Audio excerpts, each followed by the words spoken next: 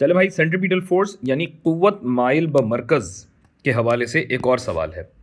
फ़र्ज़ कीजिए कि ये जो बॉलिंग बॉल होती है ना बॉलिंग वाला गेम होता है, जिसमें आपके पास ये इस टाइप की पिन रखी हुई होती हैं। बहुत अजीब सी बना रहा हूँ, लेकिन कुछ इस टाइप की पिन होती हैं सामने, और यहाँ से एक बहुत ही भारी भरकम सी गेंद को आप यहाँ फेंका करते हैं।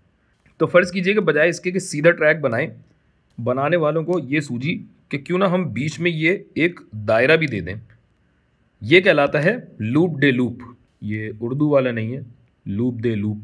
ठीक है, लूप डी लूप कहलाता है कि भाई, यहाँ से आप शुरू करेंगे, इस लूप के गिर्द आप लूप करते हुए आगे बढ़ जाएँगे।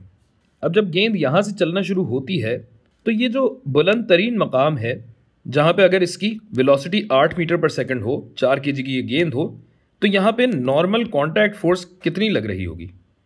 आप जानते हैं कि नॉर्मल कांटेक्ट फोर्स कांटेक्ट के पॉइंट से 90 डिग्री के जाविये पे होती है परपेंडिकुलर होती है।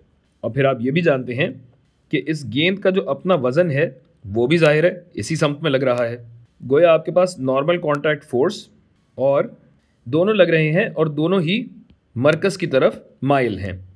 तो हम ये जानते हैं कि जो कुल क़वत माइल ब मरकज़, यानी net force directed towards the centre होगी, उसके ज़रिए हमें ये बात पता चल जाएगी। और ये फोर्स चूँकि एम ए के बराबर होती है तो एक्सेलरेशन भी माइल ब मरकज़ वाली होगी। तो भाई सेंट्रिपिटल फोर्स की अगर हम बात करें तो सेंटर की तरफ़ मरकज़ की तरफ़ जो फोर्स जा रही होगी, उसे हम मुस्बत लेंगे। यानी एफ़ एन ये भी मुस्बत होगी। और इसमें जब हम दूसरी फोर्स जमा करेंगे तो वो भी मुस्बत है, जो कि है आपका वज़न। आपका नहीं, गेंद का वज़न।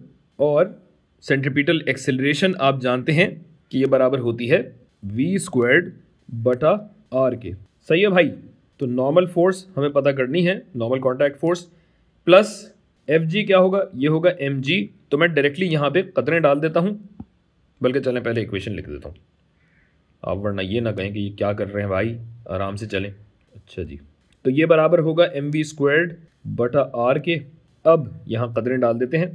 एम है चार के जी जबकि जी की कदर हम जानते हैं नौ आशारिया आठ। ये बराबर होगा M V squared over R, M है चार, अभी बताया। वेलोसिटी है, वेलोसिटी नहीं, स्पीड आठ, जिसका मुरबा आएगा, डिवाइडेड बाय आर, जिसकी कदर है दो मीटर। गोया ये नॉर्मल कॉन्टैक्ट फोर्स हमारी हो जाएगी M V squared over R, M V squared over R. यहाँ पे जब आएगा तो ये हो जाएगा मनफी। बल्कि एक काम ये कीजिए कि चूँकि ये मुझे आगे इस्तेमाल भी आएगा तो मैं इसको क्यों ना इस शक्ल में लिख दूँ कि भाई ये हो गया, ये ले, चले। बस बस बस, हो गया हो गया बेटा। कोई बात कोई बात, हो गया। अच्छा तो ये हो गया माइनस एफ़ जी। तो इस तरह कर कर आके एफ़ एन जो हमारा बनता है, वो बनता है अट्ठासी आशारिया आठ न्यूटन। ये वो नॉर्मल कॉन्टैक्ट फोर्स है जो कि हमें इस लूप द लूप की छत पे मिलेगी। गोया ये गेंद जो है इस सतह पे अट्ठासी आशारिया आठ न्यूटन लगा रही है। इसी वजह से ये सतह जो है, वो गेंद पे अट्ठासी आशारिया आठ न्यूटन लगा रही है। अब मुझे ये बताइए कि अगर गेंद बढ़कर यहाँ तक पहुँचेगी, क्योंकि ज़ाहिर है, किसी न किसी तरीके से तो पहुँचेगी तो अब जब हम नॉर्मल कॉन्टैक्ट फोर्स की बात करेंगे तो वो कम होगी या ज़्यादा होगी? देखें भाई नॉर्मल कॉन्टैक्ट फोर्स तो ज़ाहिर है, सतह के परपेंडिकुलर लगेगी, जबकि वज़न जो है वज़न की समत चेंज नहीं होगी। वज़न जो है वज़न की समत चेंज नहीं होगी और ना ही उसका हजम तब, तब और ना ही उसका हजम तब्दील होगा। तो अब मुझे बताइए तो अब थोड़ा सा सोच के बताइए कि नॉर्मल कॉन्टैक्ट फोर्स ज़्यादा होनी चाहिए या कम होनी चाहिए।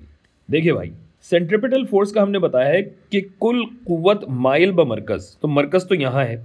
जब हम ऊपर देख रहे थे तो हमारे पास नॉर्मल कॉन्टैक्ट फोर्स भी थी और हमारे पास वज़न भी था, दोनों ही माइल ब मरकज़ थे इस पॉइंट पे। लेकिन अब जब हम यहाँ आते हैं तो माइल ब मरकज़ कौन सी फोर्स है? सिर्फ़ नॉर्मल कॉन्टैक्ट फोर्स है।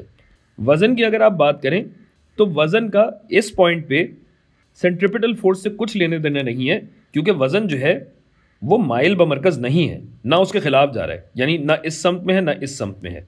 तो मेरा कहना ये है कि ये जो नॉर्मल कॉन्टैक्ट फोर्स है, ये दरअसल ज़्यादा होनी चाहिए इस पॉइंट पे। क्यों होगी? क्योंकि अगर वज़न यहाँ लग ही नहीं रहा है तो ये तो सारा हट जाएगा। ये भी हट जाएगा।